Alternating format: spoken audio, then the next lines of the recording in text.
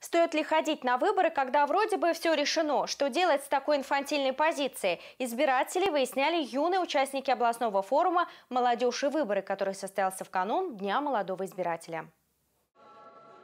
Лизе 21 год. Впервые она приняла участие в выборах в 18 лет. Для девушки этот день стал особенным, потому что она почувствовала себя взрослой. Сейчас Лиза четко обозначила свою позицию, почему, по ее мнению, стоит ходить на выборы. У меня это был как будто бы некоторый этап в жизни, которого я тоже ждала с нетерпением.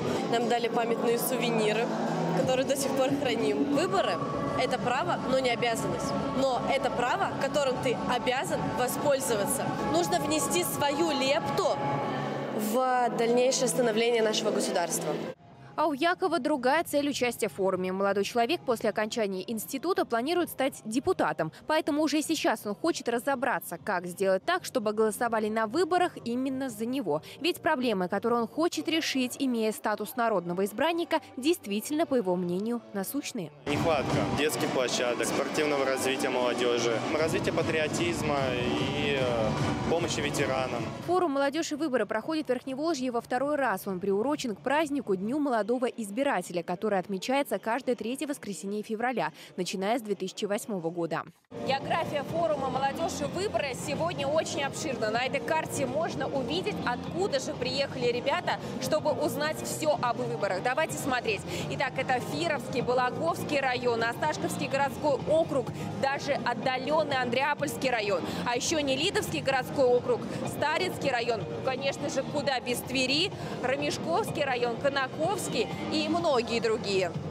В облсберкоме считают, что молодежь на выборах – это один из драйверов развития страны и большой плюс для избирательной системы. В комиссии подчеркивают, что всегда рады видеть молодых тверичан с активной гражданской позицией. Это надежда и это опора избирательной системы Тверской области. В этом году охват а, молодежи, который мы планируем, что примет участие в этих мероприятиях, это более 20 тысяч.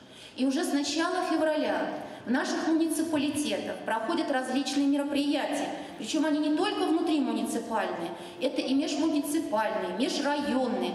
Хотелось бы выразить пожелание, чтобы вы были не просто участниками тех мероприятий, которые проводят, чтобы вы впоследствии стали также активными избирателями, которых мы с радостью будем встречать на наших избирательных участках. Современная молодежь – это прогрессивная часть общества. Но что касается активного участия в политической жизни, то среди ее представителей долгое время наблюдалось пассивное отношение к этой области. Ситуацию необходимо менять уже сейчас, подчеркивает председатель Законодательного собрания Тверской области Сергей Голубев. Политика, выборы – это вещь очень важная не с точки зрения карьеры. Это очень важно для страны, для будущего. И избирать надо уметь, и выбирать надо. И вот очень важно, чтобы молодежь, которую многие обвиняют, говорят, что они политически пассивны, не интересуются общественными процессами, замыкаются в своем мирке, который ограничивается иногда дисплеями смартфона. Это обязательно в вашей жизни наступит момент, когда вы поймете, что от вашего выбора, от вашего решения зависит очень много. Важно, чтобы это вы поняли сейчас. Вот на это дни молодого избирателя и рассчитаны.